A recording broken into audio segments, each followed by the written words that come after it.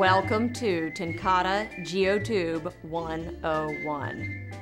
First question What is Geotube?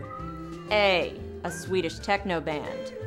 B. An underground traffic tunnel that connects England and France. C. A specially engineered textile container and a registered trademark of TenCate Geosynthetics. The answer is C.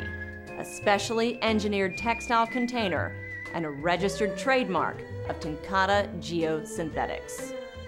Next question. What do geotube containers do? A. Protects shorelines from erosion. B. Creates perimeters for wetlands and island creation. C. Dewaters sludge in a variety of applications. D. All of the above. The answer is D. All of the above. For more than 40 years, geotube containers have been used to stop storm damage, protect the coastal environment, build custom structures, and even build islands where they didn't exist, while also offering a dewatering application for contaminated lagoons. Next question.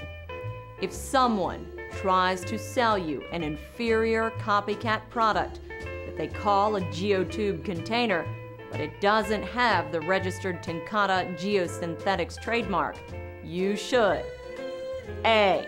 Spank them with a fly swatter. B. Show them the exit door. C.